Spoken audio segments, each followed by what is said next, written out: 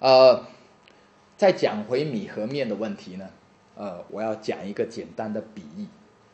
喜欢吃米和面的人，除了他大量的摄取米面之后，减少了他其他蔬菜和肉类的摄取，造成饮食不均衡之外，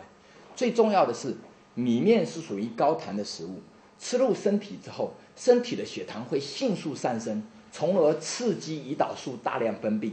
胰岛素大量分泌之后呢，就促使胰岛素逐渐逐渐分泌减少，而导致胰岛素分泌衰竭，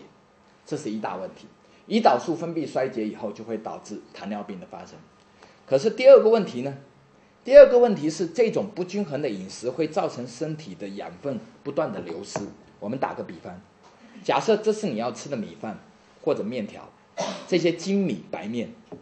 然后呢，这是你身体储存的蛋白质、维生素、矿物质的储存量。假设有这一杯，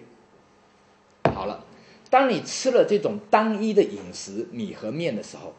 吃进去之后，身体要分泌消化液。包括唾液、胃酸、蛋白酶、脂肪酶、淀粉酶，这些消化液要分泌出来消化这碗饭。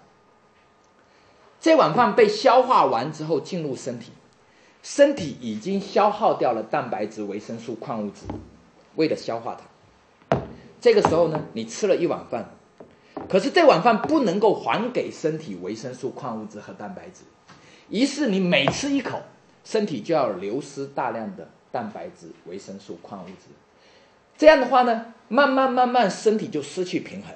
积存的糖类越来越多，用不掉，流失的蛋白质、维生素、矿物质越来越多，最后导致多种疾病的发生。我个人认为，多种慢性疾病都跟